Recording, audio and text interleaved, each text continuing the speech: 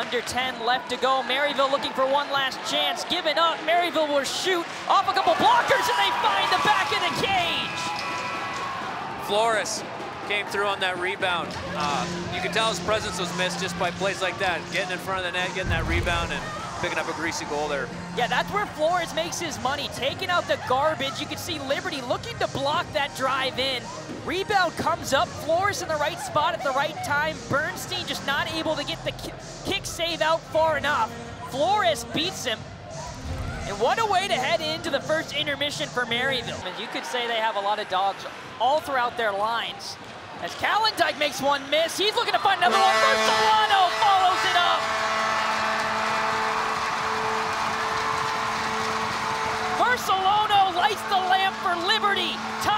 up at one apiece.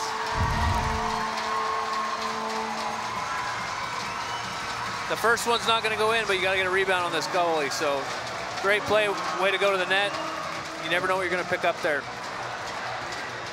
Great work by Versalono, following up Calendike, and it felt like he was gonna have to be that line one. That high-powered, scoring arsenal. Bartel looks in, drive, finds Versalano! Back to Olsen! The power play finally strikes gold, and it couldn't come at a better time. That was a great play there, a shot on net, two guys in front. Can't tie everyone up when you're down a man, and Coffey made the first save, but he couldn't corral the rebound there. We knew it was going to have to be a goal out in front off a couple chances to best Coffey. We talked about it all broadcast long, and that's what Liberty was able to create. Curling out is Maryville, back up to the point. Shot in, Bernstein, five-hole, tied up, Maryville breaks the slump on the power play, and it couldn't come at a better time. Costly, costly penalties at costly times can affect you in a big way. And Maryville hadn't had a power play goal all night, but if you keep testing them, they were able to find one there with a good shot with a lot of traffic in front. Calendike almost acting as a screener there for Bernstein. Went through the five hole at Calendike and then followed through the wickets of the netminder. Trying to send it into the middle. Olsen fighting hard. Kept it at the blue line by the Saints. Five seconds left. Calendike's there. Shot put in. Bernstein turns it aside. Rebound chance. One second. Shot blocked. Oh. Had your heart beating at the last and final seconds once again as Bernstein able to hold down the fort when it mattered most. And through the three periods of regulation, we don't have a winner. 2-2 is the scoreline. Anchored by Kovic behind him.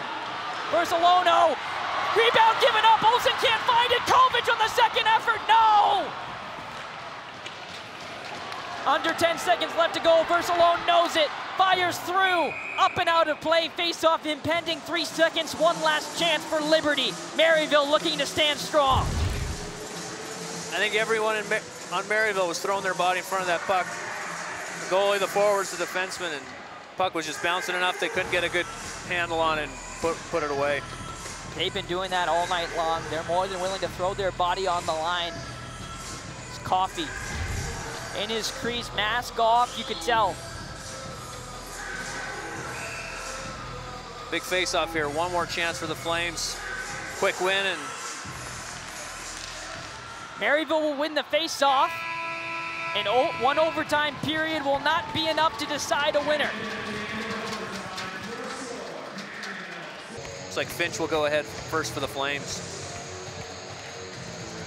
Ryan Finch has instantly cemented himself as one of the most lethal sharpshooters on this Liberty team since he arrived on campus. And they're gonna look to use that to their advantage against Ed Coffey. He'll be the first one out for the Flames. Both these teams have been living off the backs of their netminders, and they're going to ask them to head out and do that once more here in shootouts. My good friend Mike Binney, who's a goalie, he always says shoot the puck, don't try and stick out too much, especially with the bad ice, so we'll see what happens here.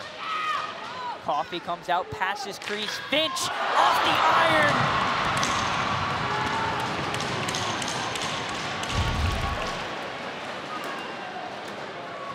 Got the look he was looking for. Adam Glove's side just, oh.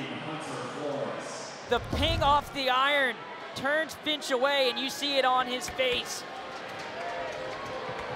Mere inches from setting the advantage for LU, not able to come away with it. Hunter Flores, he led things off for Maryville in the scoring department earlier today. He'll be the first one out. Bernstein sets him away. Nicholas Bernstein. What a breakout performance for the sophomore netminder. Flores tried to change his speed.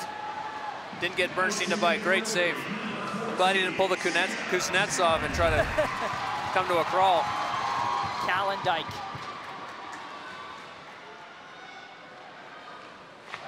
Puts it home! Jacob Calendike, who else?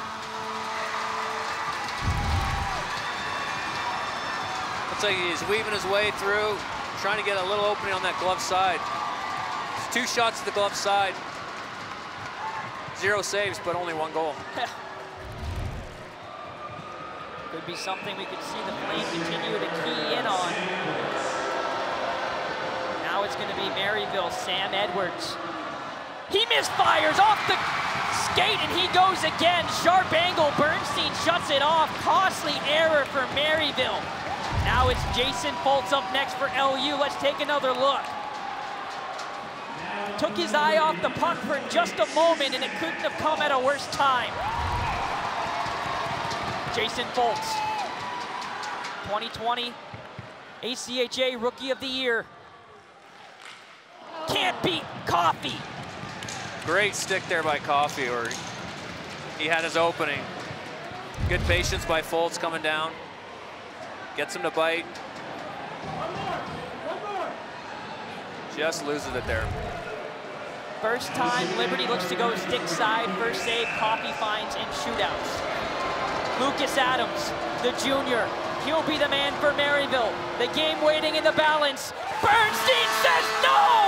Oh my! No Hunter Verostic, no problem. Bernstein walks it off for the Flames. What a huge save. Three big saves there to end up the shootout great display of confidence by Bernstein there. So for David Semenia and our entire crew, I'm Connor Young saying so long from Lynchburg, Virginia, where the final score is 3-1 Liberty. All games airing on the ESPN networks are streaming live and archived on the ESPN app. This has been a presentation of ESPN.